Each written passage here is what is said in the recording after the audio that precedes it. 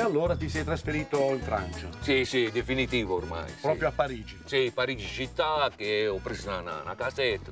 Mm. Beh, beh, bello, bello. Senti, e con la lingua come fai? Cioè, riesci a capire, voglio dire? Ormai un mese, proprio la padronanza e, e- e- tu provi a chiedere una cosa e io, tac, tac, Beh, provi? Sì, Che ti dico? Non lo so. Una cosa. Eh, guarda che carino. Me? Come chiami il gatto in francese?